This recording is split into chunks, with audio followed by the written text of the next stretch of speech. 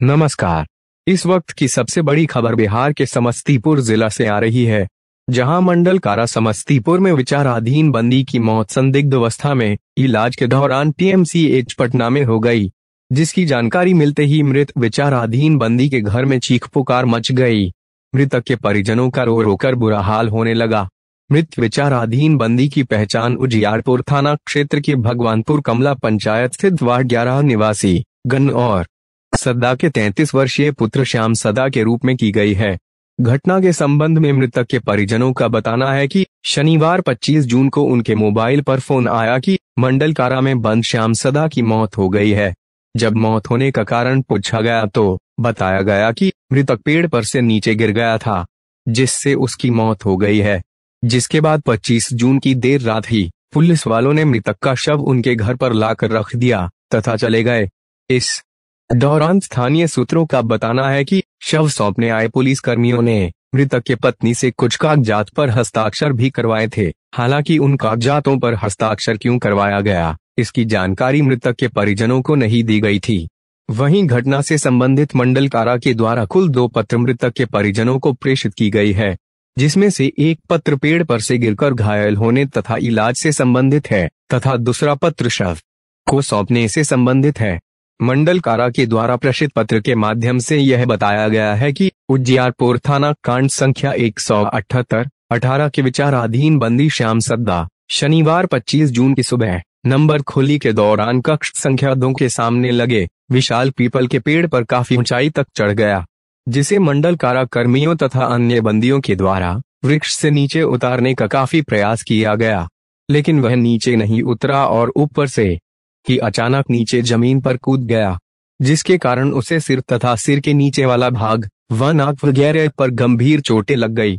आनंद फानन में उसे इलाज के लिए, मंडल कारा चिकित्सा पदाधिकारी के अनुशंसा पर, पुलिस बल की अभिरक्षा में सदर अस्पताल समस्तीपुर भेजा गया, जहाँ उसकी गंभीर स्थिति को देखते हुए, पटना पीएमसी एक रेफर कर दिया गया, जहाँ इलाज के दौरान उसकी मौत हो गई, जिसके बाद मृतक का शव पोस्टमार्टम के बाद, उसके परिजनों को सौंप दिया गया। हालाँकि इस पूरे घटनाक्रम ने मंडल कारा की सुरक्षा व्यवस्था की पॉल खोल कर रख दी है।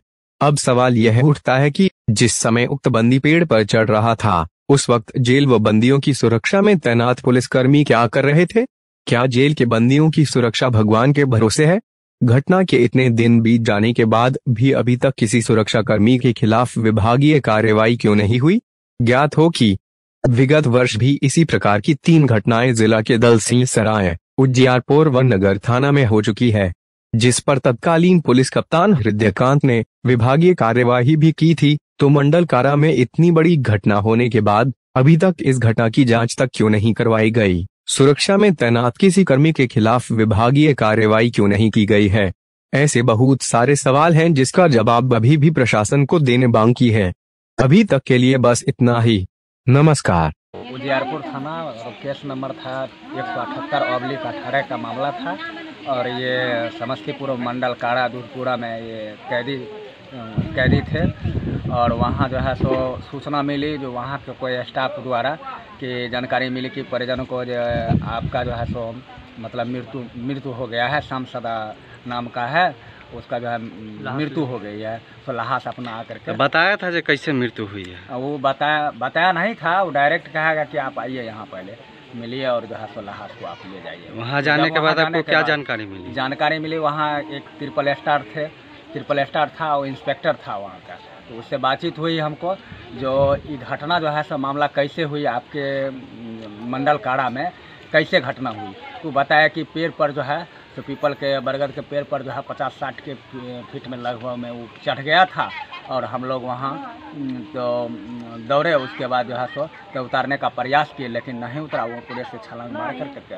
कूद पड़ा। तो हम पूछे उनसे जो कितने बजे जो है सो वहाँ के जेलर से पूछे जो वही इंस्पेक्टर से जो कितने बजे जो है सो ये घटना हुई है और कितने बजे ये गाछ पर चढ़ आपका कांस्टेबल का ड्यूटी रहता है।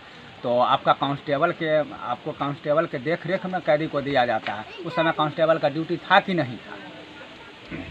तो वो जो है सो कहे कि नहीं तो सुबह के टाइम में, पैखाना के टाइम लेटरिंग था और लेटरिंग के लेटरिंग में गया और उसके बाद पीछे से जो है सो चला गया चुपके से चलिए पीछे से चला गया और कितने बजे गया था?